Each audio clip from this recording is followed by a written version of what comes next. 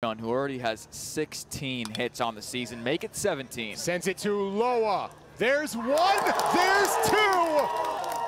Uloa, Caveno, and West.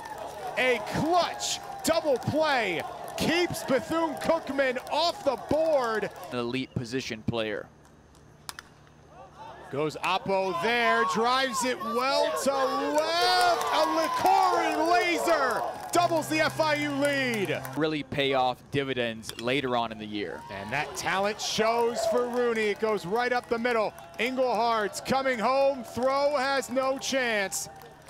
First multi-run inning for FIU. Advance on the base paths for the first out. Cordova looking for the knock. Doesn't have it. Ryan Kabarkis comes out of the pen and starts it with a K. Big pitch.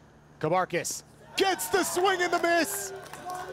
With the bases loaded, Kabarkis gets back-to-back strikeouts. It was bound to happen. Clutch from Kabarkis. Bases loaded, nobody out. Strikeout, strikeout, strikeout. The new FIU closer.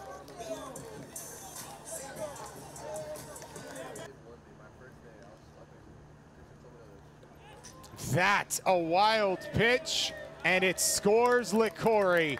The Panthers have their insurance, and there's still plenty more on the pond.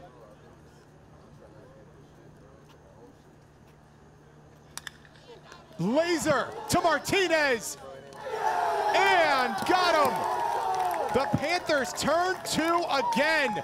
The defensive replacement at third gets some help and the defensive replacement at first in Licori cleans it up.